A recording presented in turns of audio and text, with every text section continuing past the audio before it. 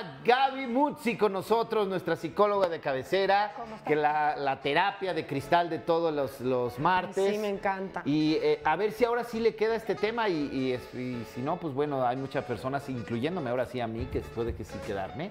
El manejo de la ira. Uh. Ese enojo incontrolable que luego sentimos. Que pudo haber eh, salvado, por ejemplo, a Pablo Lyle de la cárcel.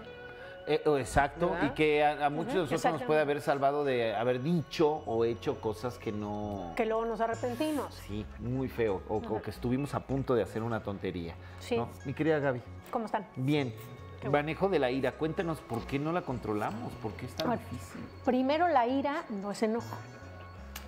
Ah, caray, ¿y cuál es la diferencia entre ira y enojo? Que la ira es una respuesta fisiológica que te sube la adrenalina cuando hay un riesgo, como si te persigue un león o si te van a saltar.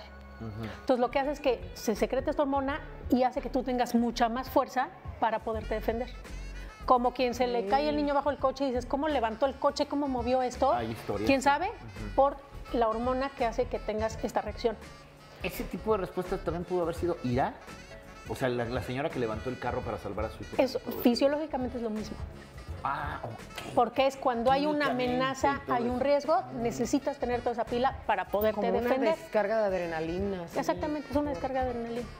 Pero es una función adaptativa cuando tenías pues, al león atrás.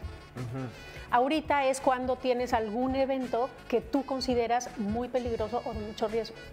¿Cuál es el punto? Que a veces tenemos esa reacción con cosas que no son realmente un riesgo, Un para ti, ¿no? ajá. Como que vas tarde y hay mucho tráfico y entonces empiezas a enojarte y hay quien se baja y golpea al enfrente o te sacan la pistola.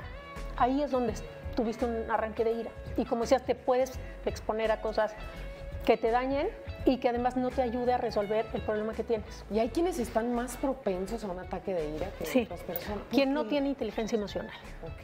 O sea, quien no ha aprendido otro recurso más que ese cuando tiene un problema, ¿no? Algo no funciona en mi casa, vamos tarde, pego de gritos y entonces ahí Lo es- resuelvo. Sí, aunque pues no es la mejor manera, Aparentemente, lo resuelves, ¿no?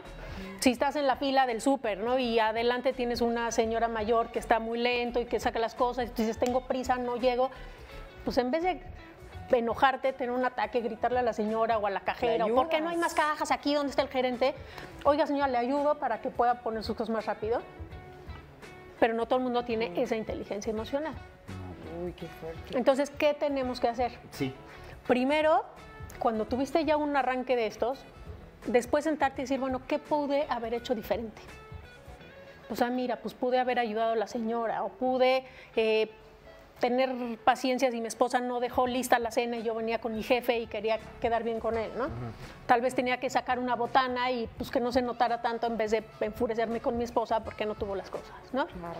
Entonces tú haces como un registro para que tu cerebro se dé cuenta que podías hacer cosas diferentes. Dos, tener un registro de cómo estás reaccionando.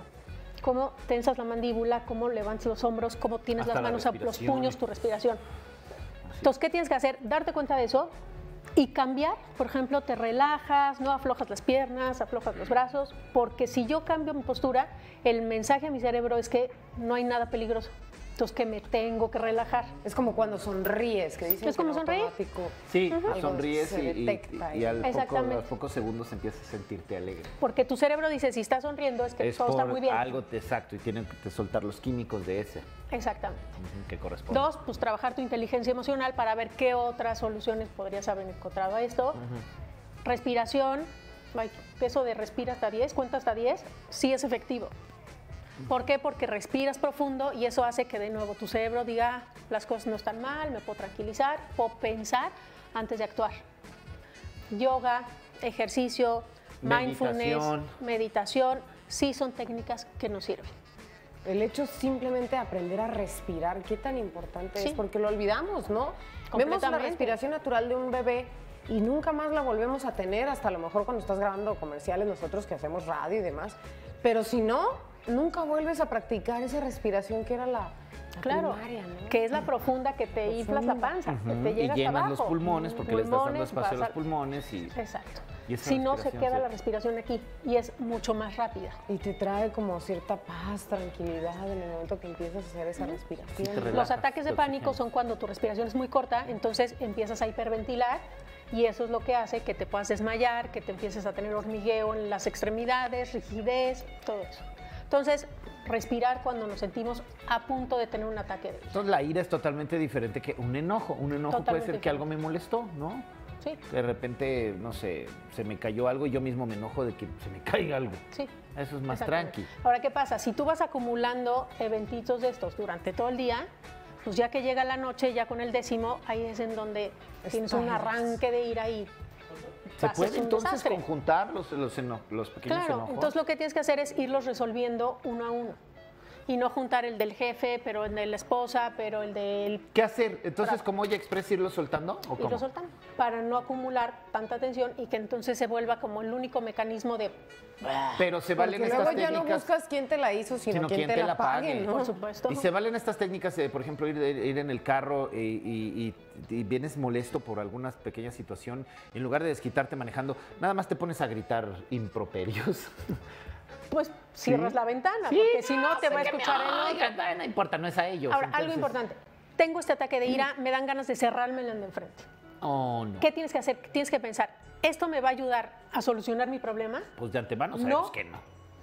Chance me saca una pistola, chance nos acabamos Oh. peleando. Causas un accidente, O lastimas a alguien. le digo cosas horribles a mi pareja, la hago sentir pésimo y, ¿Y te luego, claro, de yo dices, ay, como Alcacelser, ¿no? Se me sube, se me sube y luego se me bajó, pero a la pareja no. Y actúe desde el enojo, ¿no? Claro, y entonces pero ya tienes que pedir todo. perdón, reparar la relación, Que etc. no queda igual. Si me que está echando bronca a alguien, pues chance sí me tengo que defender si estoy en riesgo. Entonces ahí sí mi respuesta de ira es la correcta. Entonces es medir, pensar, ¿qué, o sea, qué actitud o qué emoción me va a llevar a lograr el objetivo que yo quiero. Pues estar en paz, tranquilo. Sí, tranquilo. Es que, por ejemplo, lo que sucedió con Pablo Lyle, Sí. pues el señor fue el que empezó o propició esto, porque él también tuvo un arranque de ira al ponerse como Y bajarse y todo, ¿no? sí, y la Pero en el momento está. que ya se sintió indefenso, dijo, ah, hasta aquí. Y fue donde el otro no midió. Gaby, midió. muchísimas gracias. Vamos a- ahora al tema libre después del corte.